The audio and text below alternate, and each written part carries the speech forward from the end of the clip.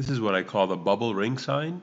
What happened in this case is I administered viscoelastic and it caused the existing bubbles in the anterior segment to be pushed out to form a ring-like pattern of bubbles. That's why I call it the bubble ring sign.